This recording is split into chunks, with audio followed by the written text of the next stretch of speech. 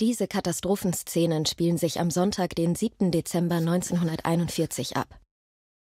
An diesem Tag greift Japan überraschend Pearl Harbor an, wo die größte Militärflotte der USA stationiert ist.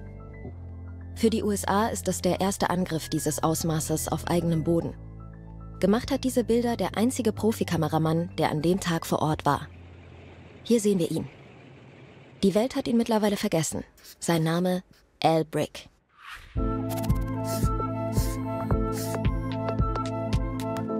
Pearl Harbor liegt hier, auf der Inselgruppe Hawaii.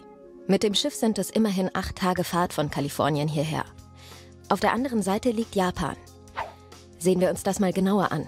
Pearl Harbor mit seinen großen Schlachtschiffen, die man hier im Bild sieht, ist der Marinestützpunkt der USA im Pazifik.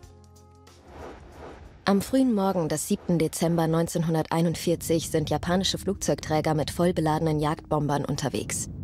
Die Amerikaner wissen nichts davon. Diese Bilder wurden ganz kurz nach dem Angriff gefilmt. Hier rechts und links davon seht ihr zwei brennende Schlachtschiffe. Da sind hunderte Männer an Bord. Hier ganz links seht ihr den Rumpf eines sinkenden Schlachtschiffs. Wie kommt es, dass Al Brick gerade vor Ort ist? Er soll eine Reportage über die US-Flotte drehen.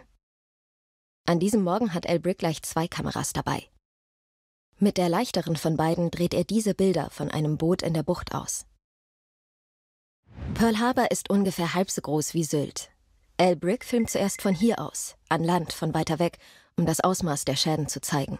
In der Bucht sind sie am größten. Über 2000 Matrosen sterben hier. Dann filmt Al Brick vom Boot aus an mehreren Stellen in der Bucht, um die bombardierten Schiffe von nahem zu zeigen. Am nächsten Tag filmt Al Brick weitere Schäden. Die Luftwaffenbasis wurde bombardiert und viele Flugzeuge sind Schrott. Am Montag, den 8. Dezember 1941, erklären die USA Japan den Krieg. Die US-Armee zensiert diese Bilder der Niederlage, da sie das amerikanische Volk entmutigen könnten. Ein Jahr danach haben die USA Japan mehrfach besiegt. Die Zensur wird aufgehoben. In den Nachrichten klingt es, als käme Al Brick gerade aus Pearl Harbor. Arrival home of Al Brick, cameraman who filmed the Pearl Harbor attack. He was for 20 months with our Pacific Fleet. In the war crisis, Movie Tone sent him to Hawaii and kept him there. So he was on the scene when the treacherous blow was dealt. In the surprise assault, American warplanes were caught on the ground and bombed. Most of them were disabled.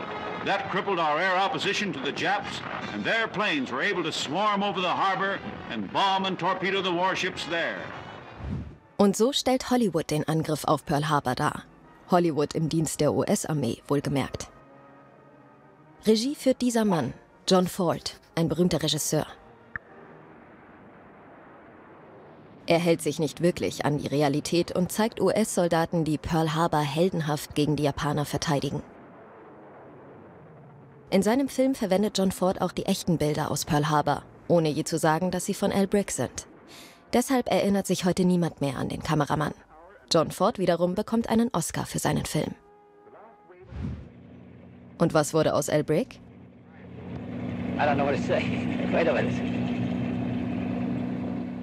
Er wird bis zu seinem Tod im Jahr 1951 weiterhin für Nachrichtensendungen filmen.